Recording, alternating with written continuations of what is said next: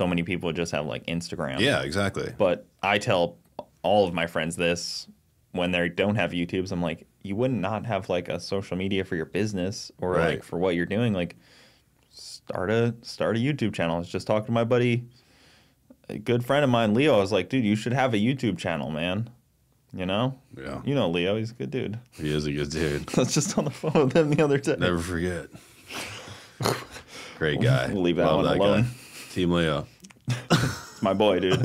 Talk to Leo all the time. Check in on him every now and then because know what it's like. But Yeah, um, dude, that's a crazy deal.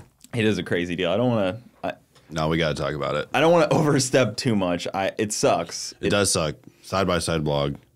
Leo is no longer part of Side by Side Blog. I think most people know that. Yeah, Leo point. is like um, he's one of the OG members.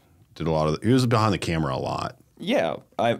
He was. He's been documenting stuff forever. Like he's Yeah. like one of those guys where like anything's happening, he's the guy filming it. Where everybody's kind of doing stuff. Yeah, and he's just always been like that. So it was more like a editor. natural. He did the editor. He was the editor, and then did all like the business side of stuff. He's like too, Kyle. Loftus in a lot of ways. Yeah, exactly. Where like, you know, Kyle was going to film street racing just because, exactly. just because he wanted, like, he loved cameras and filming stuff. Exactly. That was exactly how I saw Leo. Yeah, and then a long story short, from what I understand, is the other two OG members, um, and I know I, I I love those guys too, and I'm sure there's there's there's definitely three stories going on here. There's Yeah. Leo's side, there's the other guy's side, and then there's the truth. Yep.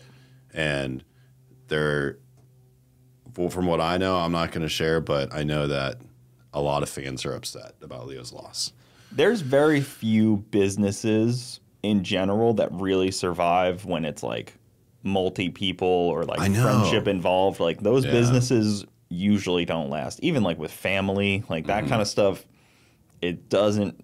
Doesn't it pan out does well. not really last. Get a lot of cooks in the kitchen. Yeah, it's there's always going to be some stuff, especially as things get more successful. Yeah, It's never going to work out. yeah. And that I mean, granted not never going to work out, but pretty rarely do those kind of things. So, I hope Leo, you know, starts his own channel because I know he's passionate like you were just talking with filming and like actually documenting things Yeah, he's a good guy. versus just like there are the some people that just want to do things Yeah, and then we we all know those people that do a lot of cool shit, but they don't film or post any of it. I know. And then there's some people that just want to film and post stuff.